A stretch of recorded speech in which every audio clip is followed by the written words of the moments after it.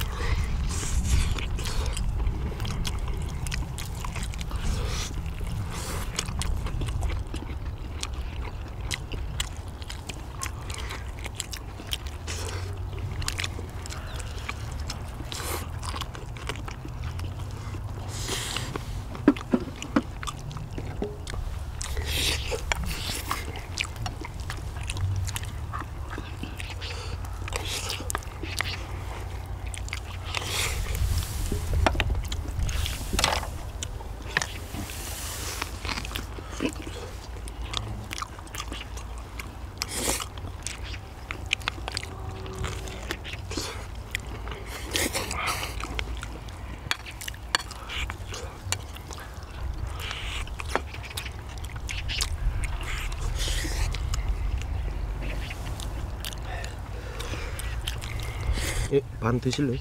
음, 나 된것 같은데. 아 그럼 제가 구멍 담을게요. 여기 있다. 예.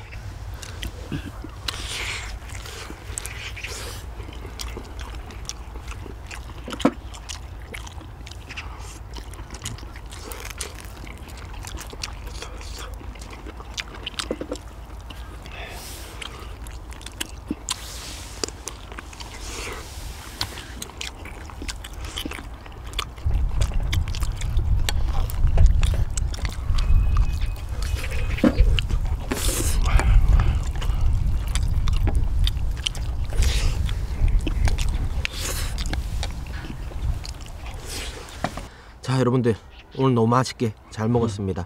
여자친구랑 그때 음. 대구 서문시장에 경인식당이란 곳에 가서 전 찜갈비를 처음 먹어봤는데 음. 그게 또 먹고 싶더라고요. 음. 그래서 어머니한테 이거 영상 보여드리면서 만드실 수 있겠냐 해서 아, 내 스타일도 한번 만들어 보신다 하셔가지고 음. 했는데 아 오늘 너무 맛있었던 것 같습니다. 그랬나? 네. 그래, 나도 이런 스타일은 처음 먹어봤는데 맛이 괜찮네.